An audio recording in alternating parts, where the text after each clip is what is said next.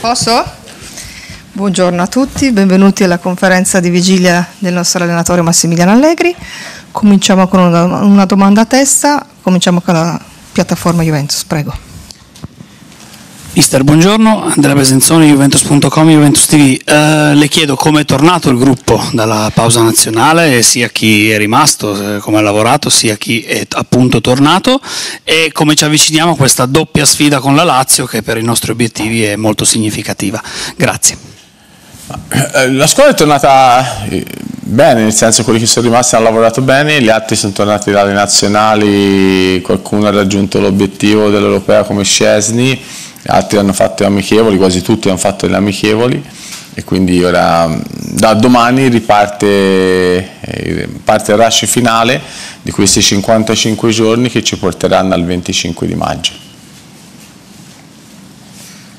Buongiorno mister Giovanni Albanese Sport Italia, ehm, in questa pausa abbiamo visto Ealing eh, far bene con, la sua nazionale, le chiedo se può esserci possibilità di vederlo dall'inizio contro la Lazio, ma più in generale come valuta il suo percorso di crescita, a che punto è questo ragazzo, se ormai mh, se possiamo considerarlo a tutti gli effetti un giocatore eh, pronto per fare il salto di qualità. Grazie. Elling ha giocato molto quest'anno e ci sono momenti in cui ha giocato un po' di meno, però è sempre stato un giocatore molto considerato, sta facendo un percorso diciamo, di crescita come stanno facendo tutti gli altri sono molto contento.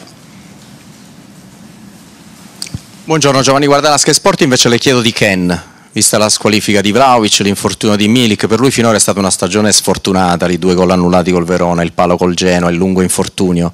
Domani per lui può essere un'opportunità importante, immagino giocherà dall'inizio, le chiedo come sta e che cosa si aspetta da qui alla fine della stagione da lui.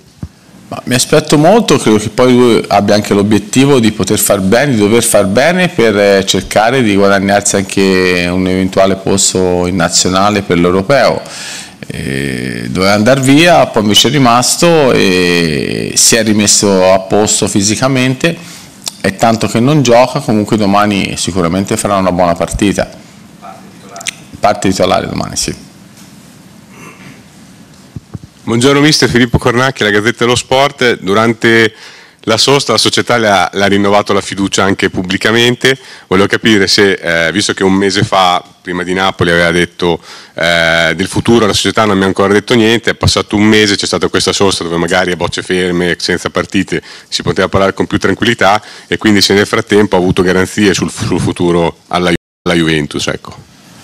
Ma credo che in questo momento la cosa più importante bisogna essere tutti focalizzati su quello che è il finale di stagione perché comunque eh, purtroppo abbiamo eh, buttato tanti punti di vantaggio che avevamo eh, sulle quinte e, e, ora in questo momento qui bisogna essere realisti, abbiamo fatto 7 punti nelle ultime 8 partite, nel girone di ritorno abbiamo fatto solamente 13 punti e quindi abbiamo 9 partite per andare a consolidare una posizione che è quella di uno dei, dei, dei tre posti in Champions che sono rimasti e quindi bisogna conquistarlo. Poi come dicevano prima c'è la Coppa Italia da giocare, martedì abbiamo un'altra un partita importante con la Lazio uno dei, dei due match eh, che vale la Coppa Italia, quindi bisogna pensare esclusivamente a, eh, a questo. Sono contento che la società abbia rinnovato la fiducia, ma non avevo nessun dubbio su questo perché comunque con la società stiamo lavorando, la società starà programmando quello che è il, il futuro, ma in questo momento eh, è importante, è fondamentale cercare di rimanere focalizzati su quello che è il presente. Il presente è domani, domani partirà eh, il rush finale e sappiamo che sarà molto difficile perché abbiamo molti scontri diretti e ripeto, e abbiamo buttato via, cioè buttato via, abbiamo perso perché abbiamo fatto pochi punti, tanti punti sulle inseguitrici.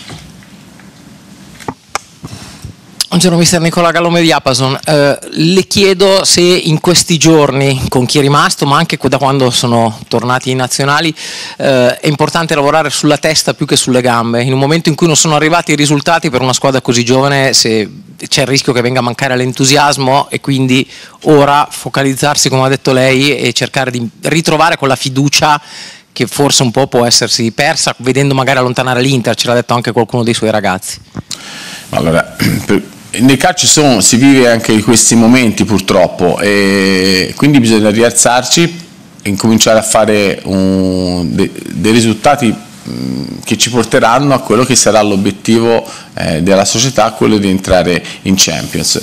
I ragazzi devono stare sereni, devono giocare con totale tranquillità, anche perché eh, fino ad ora la squadra ha fatto 59 punti, è vero che sono stati distribuiti male perché abbiamo fatto i 46 il girone in andata e solamente i 13 il girone di ritorno, però alla squadra non ho da rimproverare niente, è normale che quando mancano risultati bisogna fare qualcosina in più per ritornare a creare eh, diciamo, quell'entusiasmo che serve per affrontare nel migliore dei modi il finale di stagione. Però per quanto riguarda quello che stanno facendo i ragazzi per la crescita, sono cresciuti molto giovani, eh, sono cresciuti anche singolarmente quelli più anziani e soprattutto c'è entusiasmo, c'è voglia di lavorare, la squadra non ha mai smesso eh, di cercare di fare bene. Poi eh, la percezione è che all'andata abbiamo fatto delle partite magari come abbiamo fatto le ultime vincendo e purtroppo nelle ultime partite non siamo riusciti a fare eh, risultato, questo non sono delle scusanti ma soprattutto servire da stimolo per cercare di far bene nelle ultime partite. Buongiorno Mister Marco Vendizi, signora Mia Calcio News, le chiedo se questo periodo di stop è servito, molto francamente ce lo dica, se è servito per riflettere eh, su quelli che sono stati gli errori, un rush finale che vede la Juventus ancora eh, ovviamente impegnata per una finale di Coppa Italia, una seconda posizione magari potrebbe essere un bell'obiettivo visto che è stata per lungo tempo seconda la Juventus. Ecco, le chiedo se ha analizzato quali sono stati questi errori che purtroppo hanno portato la Juventus da sempre seconda poi a scendere ad avere questo down così quasi eh, inspiegabile. Grazie. Eh, perché il calcio è difficile da spiegare, eh, noi lavoriamo, guardiamo, cerchiamo eh, di vedere gli errori che facciamo in questo momento qui parlare, spiegare non serve assolutamente a niente, eh, bisogna cercare di lavorare su quelli che sono stati fatti gli errori e soprattutto migliorare. Nel calcio poi conta quando fa risultati, in questo momento non, non, facciamo, non stiamo facendo risultati, non l'abbiamo fatti, bisogna cercare di invertire questa tendenza e lo possiamo fare solo noi. Salve mister, ho una stampa. Eh, domani sono 500 partite, 500 panchini in Serie A, che è un bellissimo traguardo immagino. Volevo chiederle un bilancio di queste 500 partite e soprattutto volevo chiederle se nella sua testa c'è l'ipotesi di raggiungere i mostri sacri come Mazzone, come Trapattoni che detengono questi, questi record con tante panchine. Quindi che cosa vede nel suo futuro anche? Grazie. Eh, cosa vedo? Sicuramente la voglia, la passione, l'amore che ho per questo lavoro e per questo sport che, che, ormai frequento i campi di calcio da dieci anni, quindi ormai sono 50, quanto sono? 47 anni, che una volta quando ero bambino io iniziavamo a 10 anni, 11 anni, ora a 5 anni iniziano già a giocare. Diciamo che sto diventando diversamente giovane, quindi eh, questo mi fa piacere e poi sono, sono contento eh, di quello che di quello che, diciamo, che ho fatto, che ho, che ho, fatto, che ho passato, ma nello stesso tempo eh, ho tanta voglia soprattutto di divertirmi ancora, di lavorare, di, di, di, di stare ancora sui campi, perché altrimenti magari ne annoierei. Ecco, quindi ora però l'importante è pensare a quello che eh, sarà domani e soprattutto vivere questi 55 giorni con grande entusiasmo, grande voglia e soprattutto con due obiettivi importanti da poter raggiungere che devono essere da stimolo a tutti noi.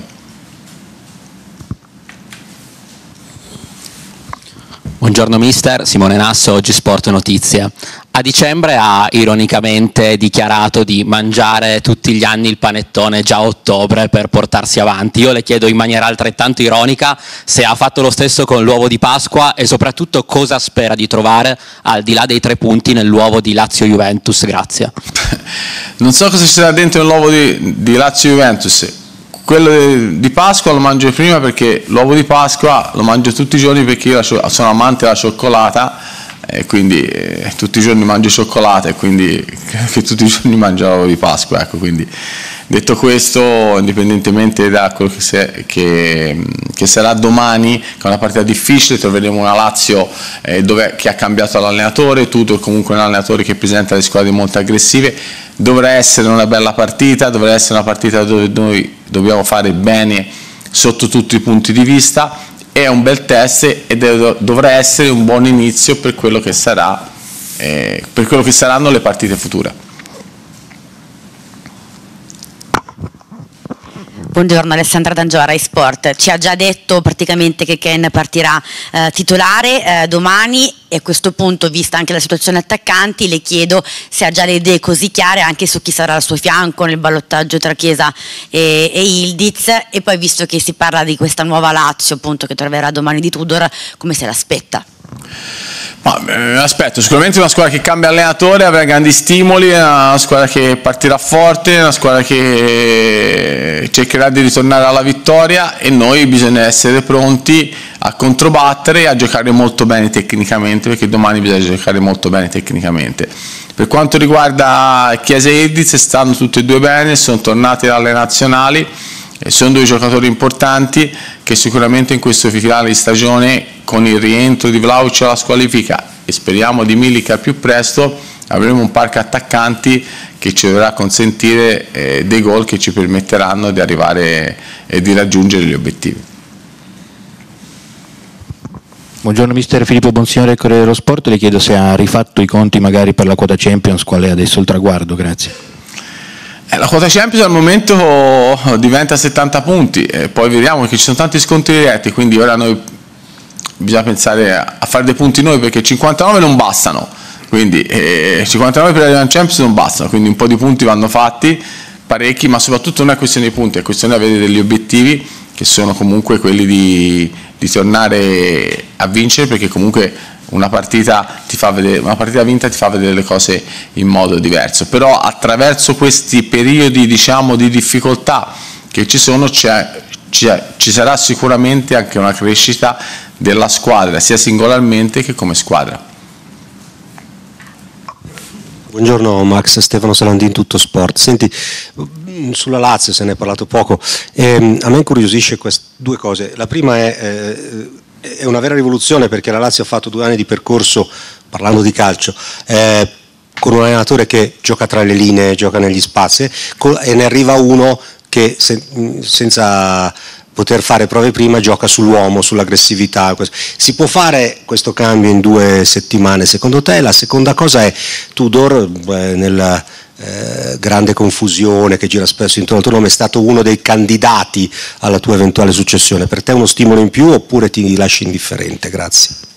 No, non è questione, Studio ha fatto molto bene a Marsiglia, ha fatto molto bene a Verona e noi sappiamo che troveremo una Lazio credo un po' differente rispetto a quella che era di Sari. Non so se due settimane bastano o non bastano, però il calcio e, ripeto, il calcio non, non, non, è difficile spiegarlo, è, è quasi impossibile, quindi dobbiamo affrontare la Lazio sapendo che troveremo una squadra già mentalmente pronta a fare una partita aggressiva che comunque il cambio di allenatore ti dà sempre un qualcosa in più, quindi bisognerà essere pronti sapendo che oltre a questo è una squadra con giocatori eh, importanti perché ha Luis Alberto, mm, eh, Immobile, Zaccagni, Felipe Anderson, Vesino, cioè tutti giocatori di grande qualità che hanno soluzioni offensive importanti.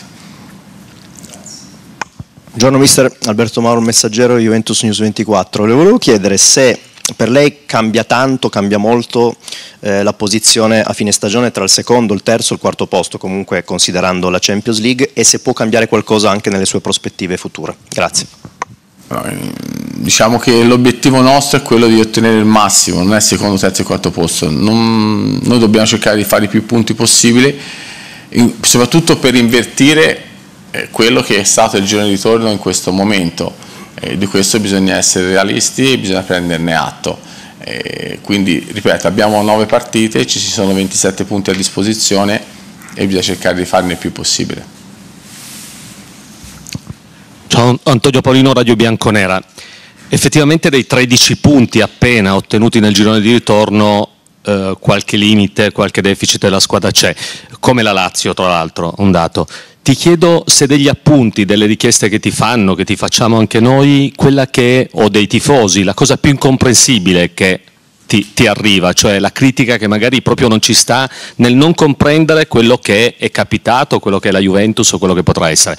E se posso aggiungere, se ti hanno fatto piacere le parole di Scanavino in questa settimana. Grazie. Ah, le parole di, di, Scanavino mi hanno fatto piacere assolutamente sì. Perché rappresentano la società e la proprietà. Per quanto riguarda le critiche, le critiche eh, quando ci sono questi momenti eh, le critiche vanno accettate, le critiche vanno accettate sempre, ma quando ci sono questi momenti ancora di più. Nel calcio eh, se vinci sei un ragazzo, se perdi eh, quindi contano i risultati. In questo momento qui non abbiamo fatto risultati, abbiamo fatti di meno.